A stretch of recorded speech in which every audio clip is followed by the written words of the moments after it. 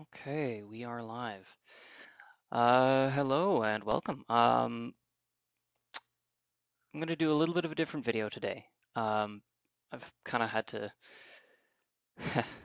work with my microphone and try to get this working, but uh, we are going to do a bit of a different video today, and this one actually comes at the request of one of the users on the forum where I post uh, my games.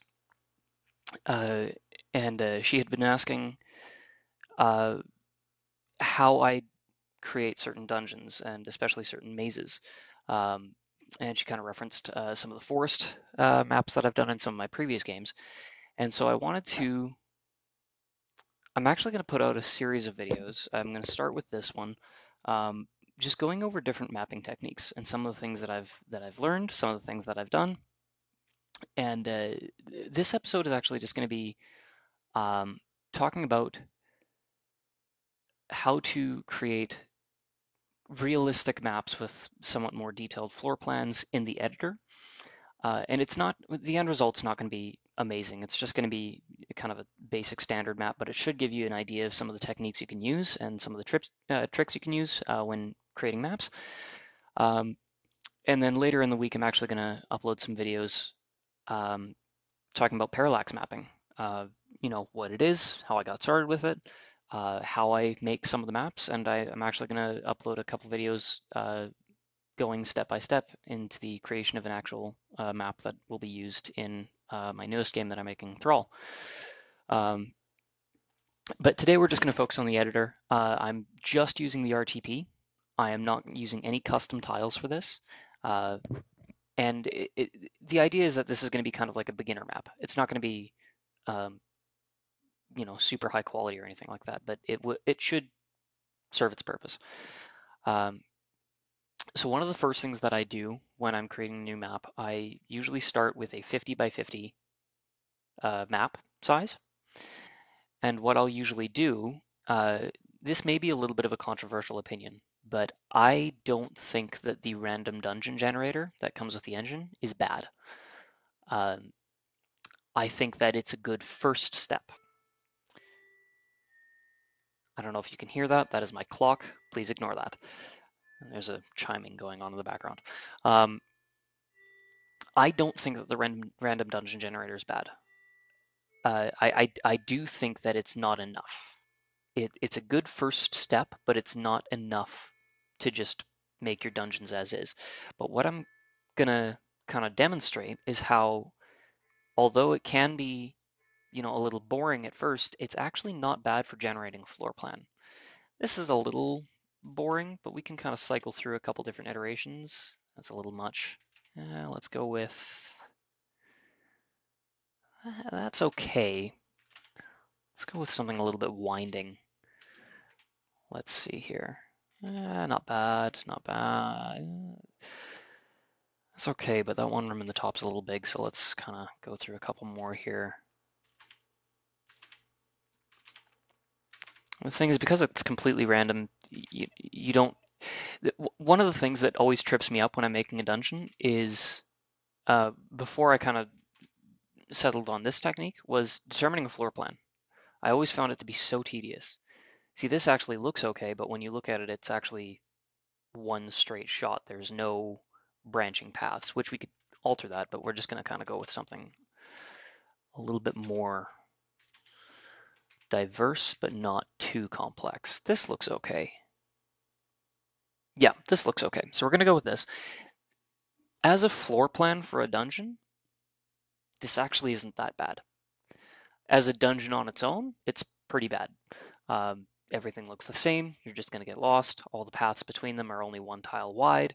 Um, you know, this is not enough, but it's a good start. And so what I'm going to do is we're going to do a forest dungeon. So I'm going to do a dirt path.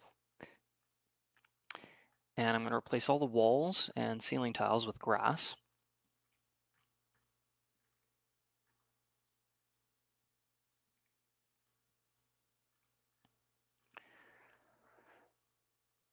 There we go. Okay. So here's our baseline. This is what we're going to be working on, uh, working with for the time being. So this is okay, but it's we're, we're talking about a forest. We're talking about something that's natural generation. It's not man-made. So we need to rough this up a little bit. We need to make it a little bit more random. And the first thing we're going to do is we're actually going to erase some of the paths between the rooms or sections, whatever you want to call them. And we're just going to kind of redraw them with a little bit more, kind of a little bit more randomness, a little bit more gaps between them. And this will kind of be a rough outline of how the maps are going to be connected, but it's not going to be, yeah, it's not like a hard boundary or anything, but it just kind of gives you an idea of like, oh, okay, I can go that way.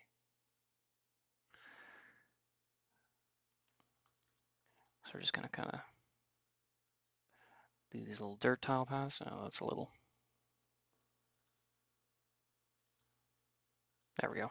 You don't want to spend too much time focusing on this because it's the idea is that it is random. You don't want it to be carefully constructed and you know it, it's not meant to be perfect.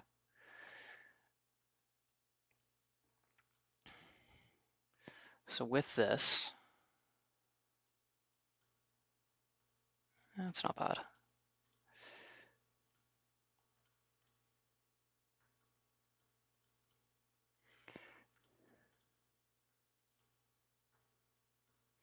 I'm trying not to use hotkeys if I can because I may accidentally press the one that stops the recording.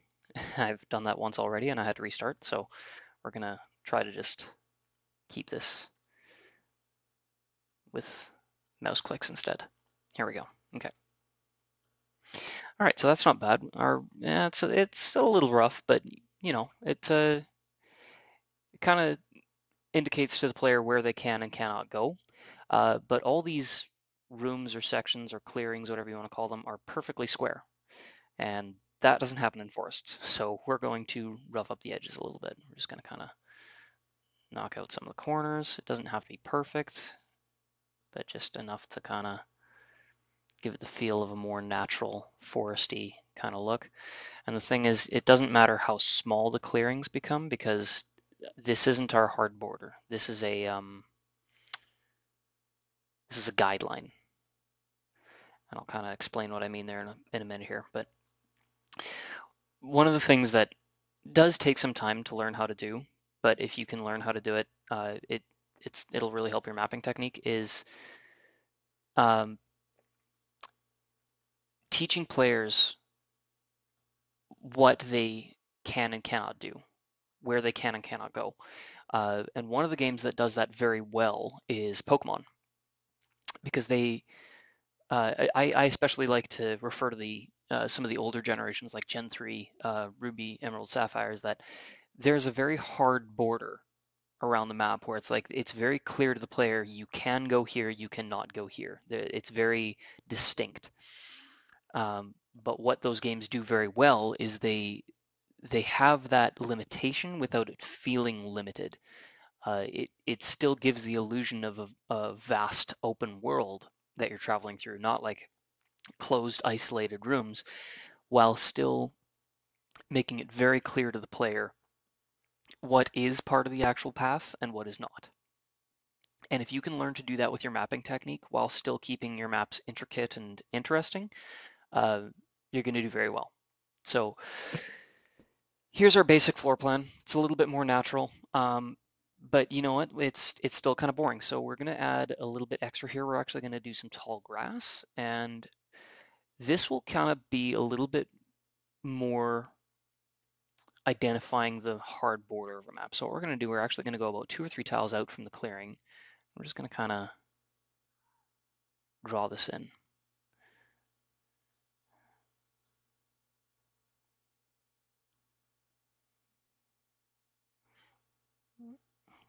Again, doesn't have to be perfect.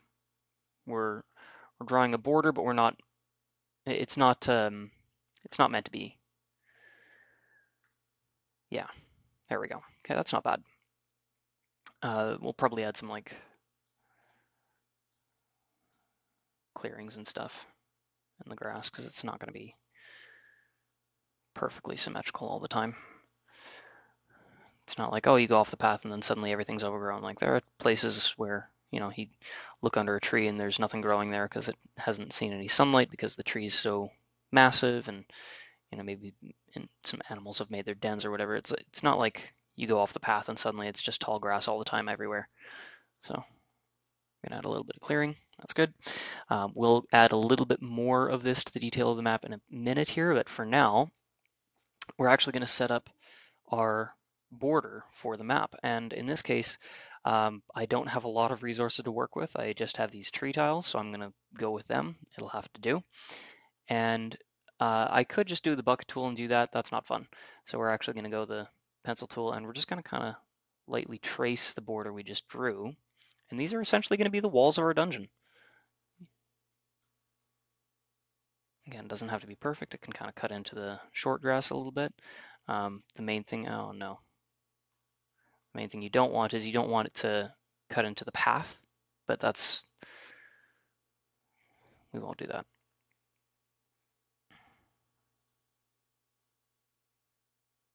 There we go. And now we actually will bucket fill that, but at the same time we are going to just kind of around these clearings that we've already drawn out, we're gonna remove a couple of the tree tiles. Oh, no, don't want to do that. We don't want to make it so that the player thinks I can cut through that. That's not going to work. There we go.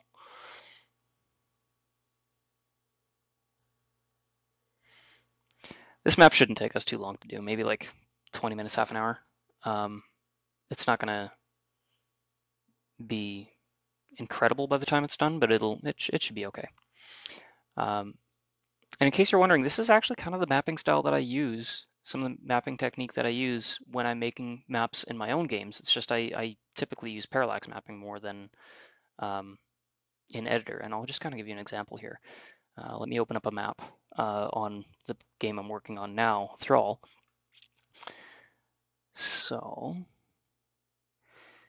this is one of the forest maps that I've just finished, I think, yesterday. Um, and this is obviously parallax mapping, but the technique used to make this map is essentially the same as this.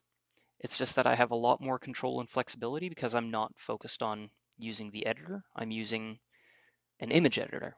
Uh, I use GIMP.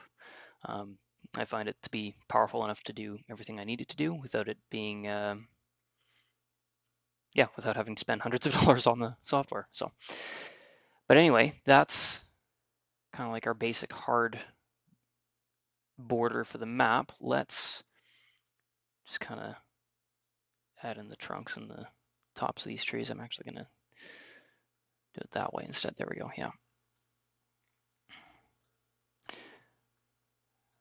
Oops. Yeah, so we're just going to add the tops and bottoms into these trees. And while we're doing that, let's just... One of the things I do want to kind of mention is that having good maps will not make a good game.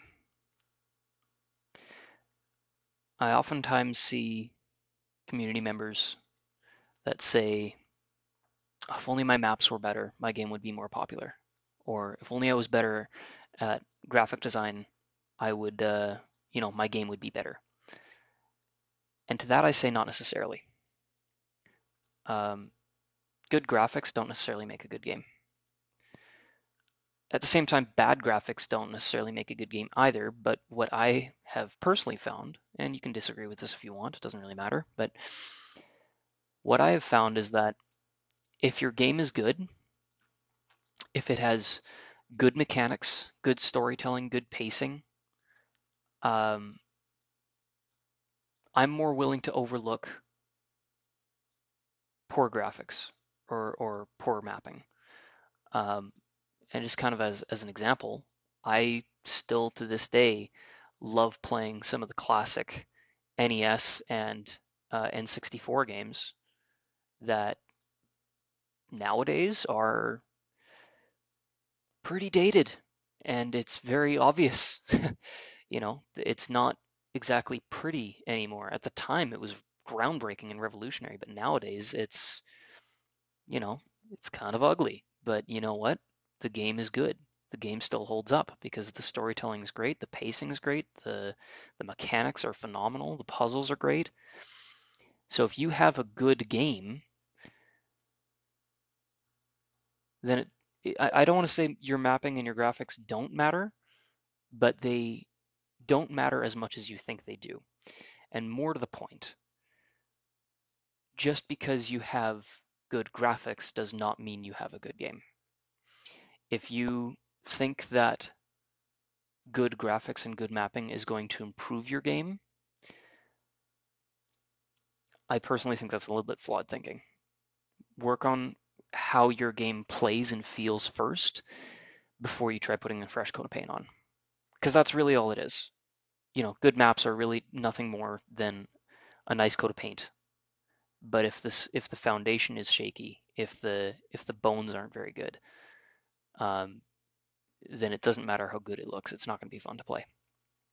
So don't think that you need to be an incredible mapper or have amazing graphics to have a popular game or a good game. Uh, work on what's fun. Work on what you actually enjoy about making your game, and don't worry so much about what people think about how it looks. Um, if people like your game, they'll play it. Uh, and you know, you can make good maps with just the RTP. You don't need custom graphics. You don't need custom resources. But anyway, okay, uh, we've pretty much set out a hard border for this map now. Um, now what we could do is all these kind of places in between where the walls used to be, we could just put trees in there, but we want to have some distinguishing features of this map that make it so that the player knows where they are pretty much at any given time. So what we're going to do, we're actually going to add a little pond. And so we're going to kind of just fill in this little section. That should be good. There we go. Nothing fancy, just a nice, simple little pond. And uh, yeah, there. Now we have like a kind of a landmark that players can use so that they don't get lost. If they're in any one of these three clearings and they're on the edge of this pond, they will immediately know where they are in the map. And that's the big thing. Mazes are yeah, maze in a maze you're kind of meant to get lost, but oh, I missed one here. Um, but most players don't like trying to grind through finding the right path on a maze. They like to at least know where they are at in the map. Uh, and that's kind of what the purpose of this is, is trying to create a map that even though, oh, you know what, I should have copied the, here, I'll just do this. Oh, no, not that big.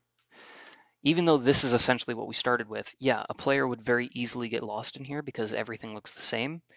This is essentially the same map, but it's a lot easier to see where you are and, and a lot easier to navigate. Uh, but we're not done with this. This is still just um, kind of the first couple steps. Now we are actually going to add a little bit more uh, obstacles so that the player can't just you know, cut across. Um, still needs to be a map that has some navigation required.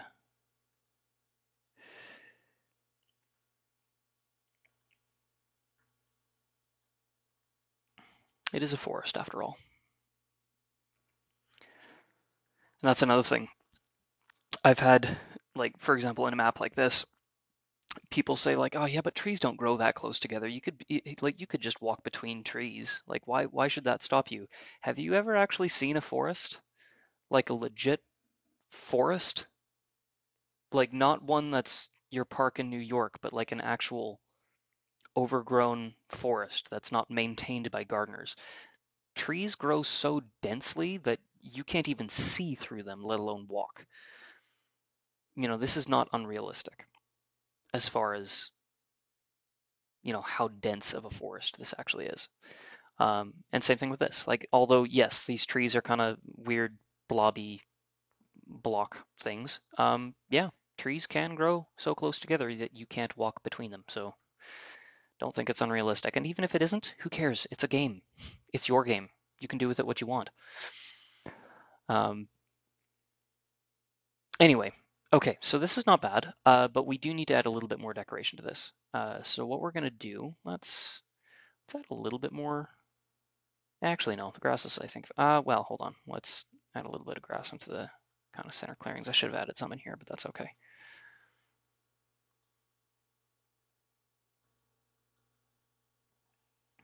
There we go.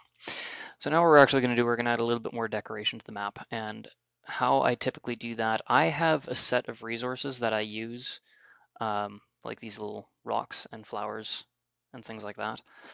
Um, that when I'm in, in, in an image editor, I keep a, a file, like a, a layer group of every resource that I have, one of each, and then I copy the group and I move one layer in at a time uh, so that I don't have the same tiles uh, in the same spot in the map, uh, but it still adds that kind of feeling of being an overgrown forest. In the editor, I just kind of take a look at what I've got. So I've got these 10 tiles here that I could use. These are more like crops, so I'm not going to use those. I could use these mushrooms and the dirt pile there, um, maybe these leaves and these lily pads. And all I'm going to do is I'm going to start with one, and I'm going to kind of place them, not necessarily in every section of the map, but the main thing is I don't want to have two side by side kind of like that because it's, oh, whoops. Because then it, it's very clear like, oh yeah, that's the same tile. Um, but if you kind of space them out throughout the map, it looks a little bit more natural, a little bit more random. And then we're going to move on to the next one. We'll just go, let's see, one, two, and we'll skip that one, three, place one there. Good, yeah. And again, don't overthink it. It's just a, you know, it's not meant to be super complicated or, or, or perfect. It's it's a forest. So we're just going to kind of scatter these about around a bit. Oh, I, I kind of skipped a step. Um, I added trees into this one section and then I didn't add them to the others. So I'm going to stop that for a second. We're just going to add in a couple more groves here because we need to have some collision, basically. We'll actually just extend that right down to the tree line there. Uh, and then this one here will kind of have come up like that. I think that's good. Let me take a look there. Yeah, I think that kind of blocks off all the paths that we're trying to block off the player. So, there we go. Okay. Yeah, I skipped a step. I jumped the gun and started decorating the map before I actually added all the collision I needed. So we will fix that.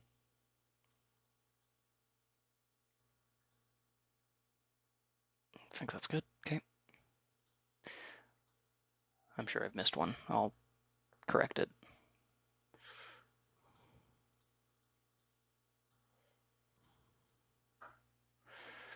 That's good.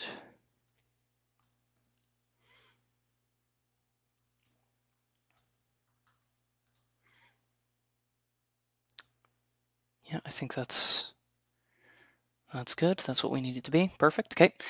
Um, I don't think I overrode any of the tiles that I had there, but even if I did, it doesn't matter. Um,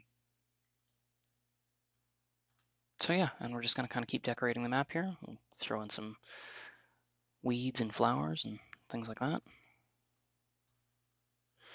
And the thing is, like, yes, this this is a very open kind of transition between these two sections. It's not like it's a um, like a really narrow path. You don't necessarily want a narrow path though, because uh, for one, you want to make sure that the player knows where they can go. You need to be able to communicate that well to your player, but also you want to make sure that um, it works for whatever map and whatever game you're making. So, for example, um, if you're using random encounters, it doesn't matter how wide or narrow your paths are because every step could potentially lead to an encounter. Um, but if you're using something like touch encounters, where the enemies are actually on the map and they'll kind of chase you or whatever, narrow paths can be fine if that's what you're going for in the game is, you know, touch encounters that are essentially unavoidable. Um, but if you want to be able to dodge them, you want it to be wide open so that you have that room to navigate. You may, maybe don't want it to be as open as this, uh, but you don't necessarily want it to be super restrictive either, because then it's it's just going to be frustrating for the player. It's like, well, what's the point of having touch encounters if you can't avoid them? That's just my opinion, but yeah. So we're just gonna kind of, these are a little bit large and obtrusive, so I'm not gonna place too many of them. All right, now these stumps, you're likely to find quite a few of these in a forest, so I'm gonna be a little bit more liberal with those. Not that one there though. Just kind of place them in places that I think would make sense. You're actually likely to find more stumps near the edges of a clearing than you would uh, otherwise, because that's why it's called a clearing. You've cleared away the trees. Place this log there. Some of these kind of fallen logs. You're going to find a lot of those probably closer to the edge of the tree line.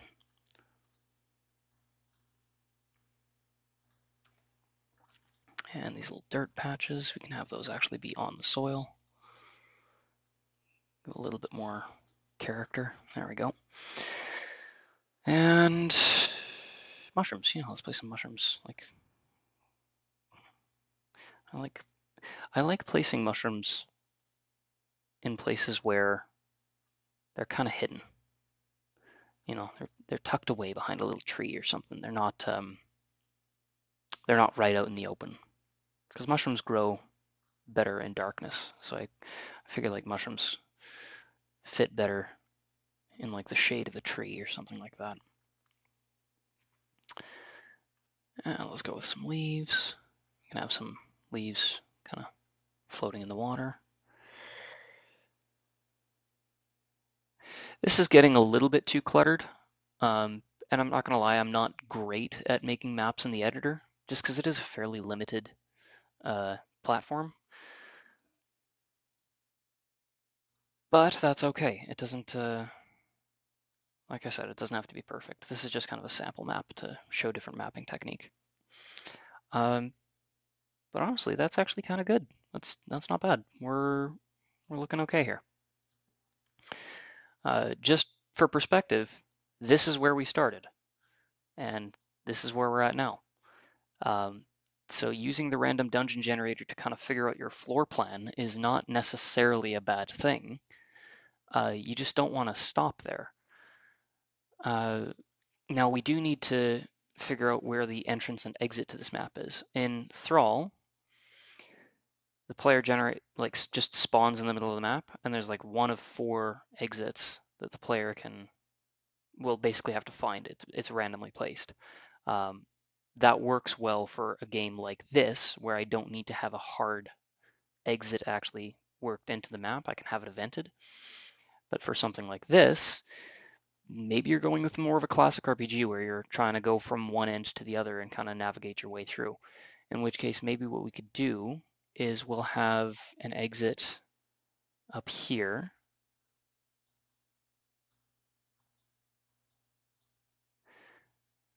There. And we'll, whoops,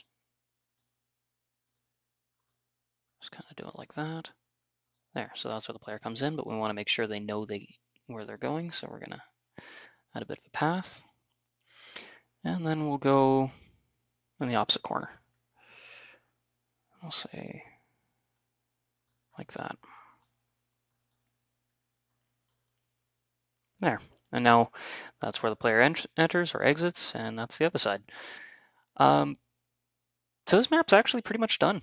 There's not really much else to do with this. Um, again, it's not great, but it works.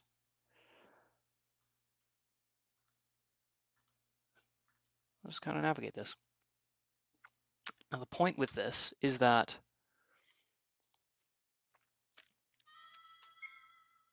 Oh, that music is awful. Although we started with the random dungeon generator, we have a basic floor plan. It's like, this is one room. This is another room. But because of what we've done, like placing this pond here, for example, we've added landmarks and places where the player can navigate from so they don't get lost. And we've kind of taken what's what was a very rigid and uh, uniform structure and kind of roughed it up a bit. It made it look more like natural generation. It's a little bit cluttered, I'm not going to lie. I don't exactly care for this uh, overall look, but you know what? It works and and that's really what you're going for. You're not necessarily trying to have the yeah, like like I said earlier, it, how good your mapping is is not nearly as important as how fun your game is. So I mean, if this works and this is all you need, great. Most players will look at this and think, "Yep, this is fine." Uh, I'm I will say that you know what if I play a game that was maybe somebody's first first or second game, like maybe they'd only been making games for a couple years or and and they were still kind of learning the different techniques, and I saw this as like one of maybe five or six maps in like a forest dungeon. I, I wouldn't be terribly impressed, but I wouldn't be unimpressed, you know. I would think, okay, you know, they've got a general idea of what they're doing. Um, so yeah, like it's it's fairly easy to figure out where you are. It's fairly easy to navigate. It's not you're you're not likely to get too lost. Um, and I mean, there's more we can do with this too. Like if we wanted to, we could add like a cliff face. Um, the tiles for this are awful, so I'm not gonna do too much with this, but we could add like a, you know, little cliff face that kind of adjusts how the map is traversed. Make it just a little bit more, you know, add a little bit more flavor to it, a little bit more character. Um, honestly, that look, looks kind of terrible, but it's, you know, it, it works. You know, maybe it's not great for this map. That would have been better to implement early on before we started adding all the trees and stuff, but, you know, it works. That's just an example, but yeah, so I mean, that's just a few things you can kind of keep in mind when you're working on maps in the editor. Um, obviously, yeah, using custom tiles will uh, give it a little bit more of a unique flavor to it. Um, you know, you probably don't want to have this much clutter on this map. This is a little excessive. Um, but you know what? That's just it. It's it's not necessarily about. It's better to just start and put something together and then test it and see how it works. Because if you do that, you'll you'll get a feel for you know, is this too open? Do I need to cinch it up a bit and maybe bit, make it a bit more restrictive? Is it, uh, you know, a little bit hard to navigate? Do I may, maybe want to add a little bit more bodies of water to make it a little bit easier? Um, you know, do I maybe want to even close off some paths altogether so that it's a little bit more maze-like? You know, you'll figure that out as you test the game. Um, but overthinking your map design before you even jump into mapping is probably the biggest thing that'll slow you down. I know that that's probably one of the biggest reasons why I procrastinated in my in my game development is that I I start overthinking things. And more often than not, you just need to jump in and do it.